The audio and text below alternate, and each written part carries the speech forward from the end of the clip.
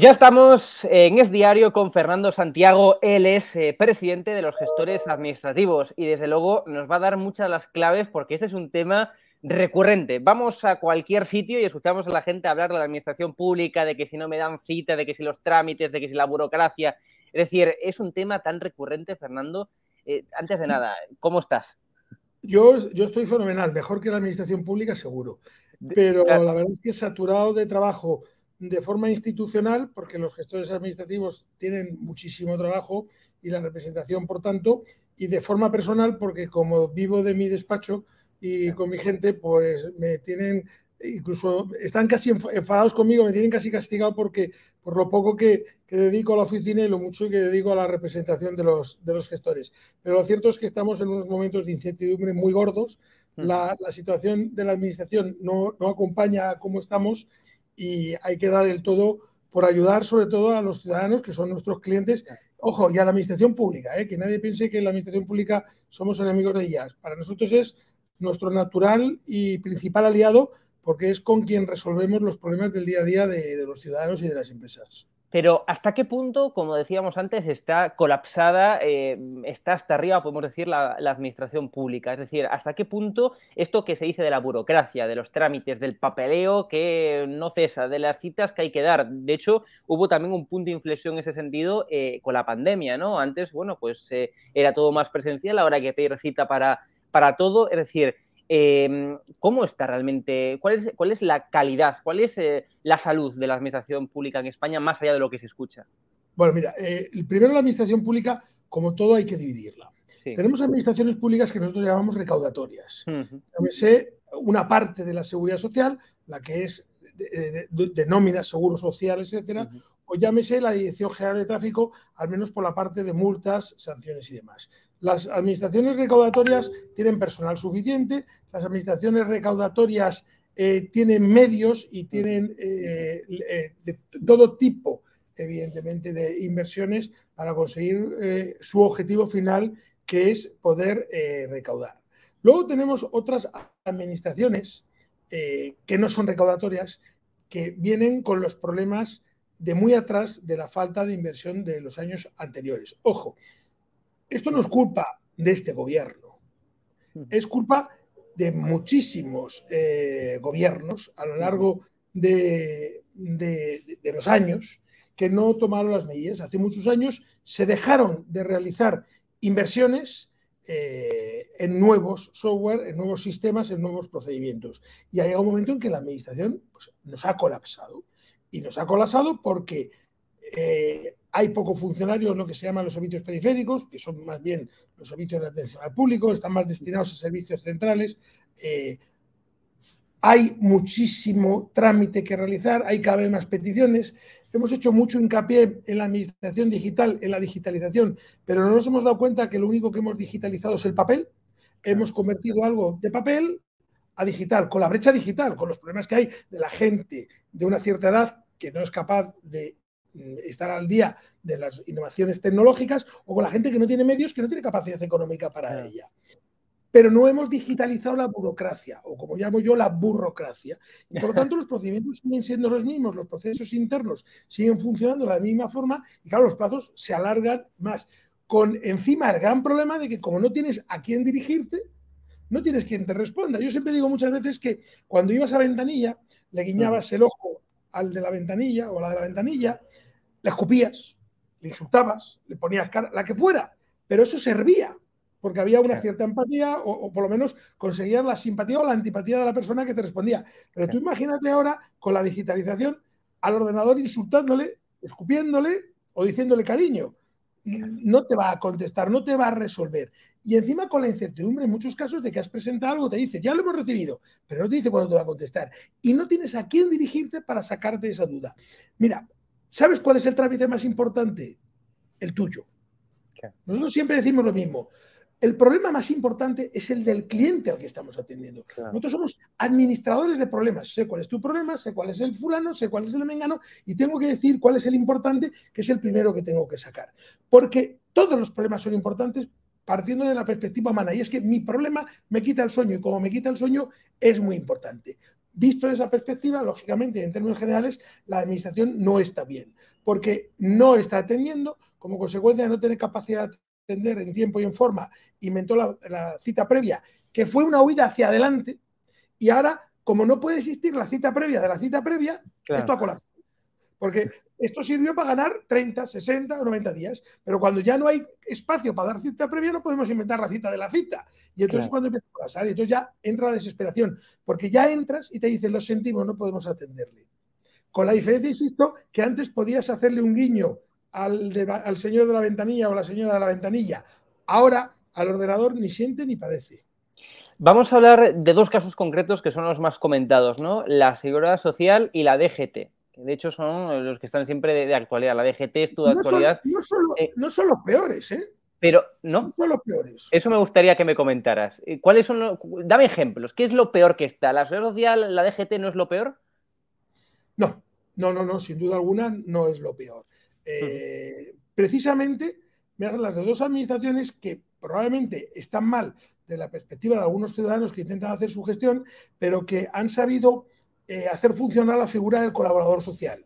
Llámese la de gestor administrativo, que soy yo y hablo de mi libro, no, evidentemente no voy a hablar de otras profesiones, y que por lo tanto, si a través de terceros, que hay mucho, mucho, mucho español que no le interesa hacer la gestión de forma directa, a través de ese tercero y con los medios telemáticos y con todo lo que se ha obtenido, se consigue el trámite. Piensa una cosa, te, digo por qué la DGT no está mal, muy sencillo.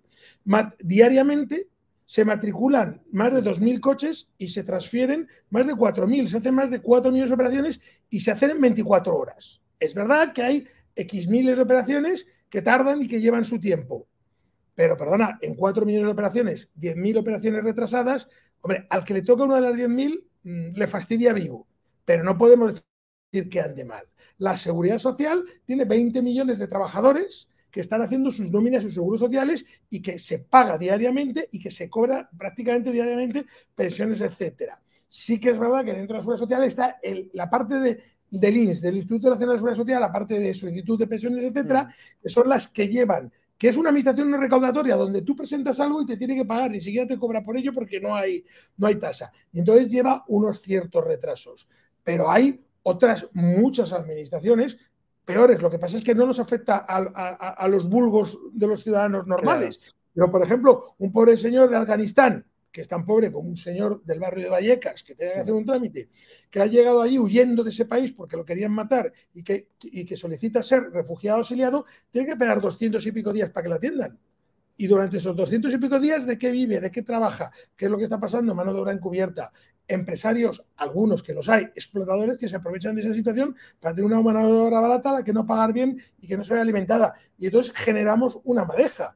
Tenemos con algunos registros eh, de juzgados problemas, problemas muy gordos, porque esa falta de personal, esa doble configuración que tienen los registros civiles de personal administrativo que funciona muy diligentemente y funciona bien, con la dirección de determinados señores que son jueces o magistrados, que les falta la empatía que le falta al funcionario de la ventanilla, lo que conlleva es un atraso brutal en determinadas figuras, que al final a todo le llamamos administración pública, pero es que hay administraciones que funcionan bien. Y luego, bueno, efectivamente, dentro de la administración pública está la parte de los políticos, que son los que menos empatía tienen todo porque a ellos no les va. Somos un número, les importamos un carajo, con perdón así, eh, lo que ocurra con la gestión del día a día, porque ellos están dispuestos a negociar con una patronal, como puede ser la Nissan, que no haya 2.000 despidos y mantener una fábrica y darle una subvención de 1.000 millones de euros, pero les importan un bledo los 2 millones o 3 millones de autónomos a los cuales, por ejemplo, se les ha subido un 8% o un 10% la cuota. Mm, y alguno dirá, esto es hacer política, no, esto es constatar una realidad. El problema es que los lobbies, los grupos de presión tienen mucha fuerza. Entonces, si tú eres de una multinacional que puedes sacar las noticias en muchos periódicos, tienes mucha más fuerza que si eres un millón de autónomos que como están divididos no, pueden, no hacen causa común y por lo tanto no hace presión y se les hace pagar el pato de las subidas de impuestos, se les hace pagar el pato de las cuotas, etcétera, etcétera, o se les hace pagar el pato de esa ventanilla que no funciona. Yo estoy seguro que al corte inglés, y que no quiero hacer publicidad, eh, va a presentar un trámite en ventanilla y no tiene ningún problema. Pero hay 50.000 españoles que piden el ingreso mínimo vital y están teniendo problemas para cobrarlo para la tramitación porque no hay funcionarios suficientes o porque no llega el dinero o porque hay problemas. Entonces, ¿está mal la administración? Sí. ¿Quién tiene la culpa? Sin duda alguna, los políticos, no los funcionarios. No hagamos pagar el pato al funcionario de ventanilla. Él no tiene la culpa. La culpa la tiene quien no ha puesto medios en estos años, quien no ha hecho inversiones y a quien le importa un carajo el vulgo contado de forma individual, no en forma masiva, que luego cuando llegan las elecciones todos quieren que votemos. Y hablemos ahora, pues claro, como hay tanto, tal cantidad de, niveles en España, nivel regional, nivel eh, estatal, nivel eh, local, es decir, dentro de la Administración General del Estado, la Administración mm, regional, periférica o la Administración local, ¿cuál es la que está en peor salud? Es decir, ¿cuál es la que peor funciona? ¿O funcionan todas eh, prácticamente igual en el mal sentido de la palabra? Bueno, en sentido técnico, un servicio periférico no es una local. Efectivamente, tenemos Administración Nacional, la que depende del Estado, del Gobierno de la Nación, Administración Autonómica, que depende de las comunidades autónomas, y Administración Local, que depende de administraciones locales. En teoría, con la ley 3940, eh, todas deberían de funcionar y poder relacionarse de unas determinadas formas telemáticamente. A medida que la organización es más pequeña, lógicamente no tiene mejor capacidad de funcionamiento, sino peor. Es decir, el ayuntamiento de Bollullos del Condado, que me perdonen los de Bollullos del Condado si existen, funciona muchísimo peor que el ayuntamiento de Madrid. Evidentemente. Pues, Las comunidades autónomas, la Comunidad de Madrid tiene un potencial que le permite funcionar muchísimo mejor que otras determinadas. Lo que hablaba antes de servicios periféricos y servicios centrales es diferente a esas tres administraciones. vale, vale. Eh, por ejemplo, en una dirección general de tráfico, servicios centrales es aquella que lleva las normas, las publicaciones o que lleva el conjunto general de, cómo tiene que ser el funcionamiento de la dirección general. Y servicios periféricos son las jefaturas provinciales, donde va el señor a la ventanilla a renovar el carnet de conducir, donde va el señor a la ventanilla a hacer su transferencia, donde va el señor a la ventanilla a pagar la multa, donde va el señor a la ventanilla a hacer un recurso. Eso está mal porque no tiene recursos. Y en ocasiones no tiene recursos porque también hay funcionarios que no quieren ir a ese destino, porque al mismo sueldo, mejor un destino donde la responsabilidad sea menor, el sufrimiento sea menor, o donde duermas mejor, porque hay funcionarios que no duermen. Y claro, si estás en un sitio donde ves problemas, problemas, problemas, problemas todo el día, dices, yo me cambio de destino, yo quiero ir a servicios centrales en una oficina donde veo papeles, no atiendo público, no veo problemas y por lo tanto duermo mucho más tranquilo. Entonces, los servicios periféricos están muy mal. Dentro de los servicios periféricos está el SEPE, desastroso atención al público, no tiene profesionales, no tiene colaboradores sociales. Entonces tiene que ser el ciudadano el que lo haga. No quieren ver al ciudadano, aunque le deben de verle. Por lo tanto, no funciona con unos medios absolutamente obsoletos. Registros civiles no funcionan en condiciones porque tampoco tiene, tienen ese problema. Sin embargo, agencia tributaria, muy bien. ¿Por qué funciona en términos generales muy bien? Porque funciona a través de colaboradores sociales. El 70% de la tramitación administrativa de este país la hace un colaborador social, un tercero, un profesional, un gestor administrativo. Y por lo tanto, como tenemos medios, tenemos formas y tenemos un know-how, un conocimiento del hecho, tenemos una cierta facilidad que el, eh, que el resto no tiene. Ese otro 30% de trámite que hace el particular es el que tiene problema. Yo personalmente no tengo problemas con la seguridad social porque me relaciono telemáticamente y se soluciona casi todo en el acto. No tengo problemas con la Dirección General de Tráfico, porque eh, yo mañana me voy a Francia, bueno, a Francia no, perdón, al otro lado del mundo. Me voy a Nueva Zelanda a conducir, necesito un permiso internacional de conducción y lo hago a través de un gestor administrativo que de un día para otro me da el permiso internacional. Pero si tengo que ir a cobrar el paro, como tengo que hacer una cola y no hay gente, me puedo tirar meses. Si tengo que hacer una pensión, ahora están empezando con el tema de las pensiones a fomentar el uso del colaborador social. Pero ha habido un momento que han colapsado, que lo dije hace dos años, dicho de paso que iba a pasar lo que ha pasado. Es decir, cuando hablamos de seguridad social, centrémonos más en los temas de pensiones, de invalideces y de cobros que no en el sistema, insisto, de pago. Los seguros sociales funcionan como un reloj. Las, eh, las nóminas funcionan como un reloj. Las bajas de IT, todo eso funcionan como un reloj porque ya nos ocupamos los profesionales que defendemos a nuestros clientes de que funcione como un reloj, aunque, aunque ellos no funcionen como a nosotros nos gustaría que funcionara. Y la DGT, como te he dicho, funciona como un reloj. Porque a la hora de cobrar, cobra bien rápido las multas y porque a la hora de hacer un trámite, como estamos por detrás los gestores administrativos, pues funciona muy bien porque al final depende de nosotros. Pero en el momento que se sale de esa esfera y entramos en administraciones donde no hay colaboración social, empieza el colapso. Las subvenciones, por ejemplo. Y eso, y eso, perdona, Fernando, ¿y eso a quién afecta más? ¿A los eh, ciudadanos, eh, digamos, asalariados o a los eh, autónomos, a las pequeñas y medianas empresas también? Es decir, ¿a quién afecta más en esas administraciones que no tienen colaboradores? Quien más problema tiene es, dentro de los ciudadanos, el autónomo, porque requiere más trámites que un trabajador por cuenta ajena. Al final, un trabajador por cuenta ajena, desde que empieza a trabajar, ¿qué necesita en su vida? Un día le dan la baja, eso ya se tramita telemáticamente, no se entera, si le pagan bien, cobra su nómina, si la empresa deja de pagar, no la cobra. Pero decir, en teoría, en un funcionamiento normal, él va a cobrar su nómina, va a ir al médico, le van a atender, a lo mejor un día hay de retraso, o le tarda en una operación 40, 50 o 60 días, que es grave, porque, entiéndeme. El autónomo tiene que hacer gestiones todos los días, tiene que presentar impuestos, tiene que hacer solicitudes, tiene que pedir una subvención y a partir de ahí tiene que relacionarse con 25.000 administraciones. ¿Dónde nota el empleado por cuenta ajena el problema? Cuando tiene que sacar un certificado de un registro. Es decir, cuando tiene que hacer un trámite esporádico, un mm. trámite extraordinario que no pertenece a la vida suya normal. Entonces es cuando se da cuenta, pero también es verdad que como le ocurre ese día y una vez que se soluciona se vuelve a olvidar, pues es como el que coge una gripe. El día que coges la gripe estás jodido y estás malo, que no puedes ni respirar, que te sientes muy mal y que crees que el mundo se va a acabar y al tercer día estás jugando al fútbol, estás viendo un partido del Real Madrid o del Atleti. Mm, el autónomo, como todos los días, mm, tiene gripe y no puede curarla, pues tiene todos los días problemas y todos los días tiene que gestionar. Porque en el mes de enero teníamos el IVA, el IRPF.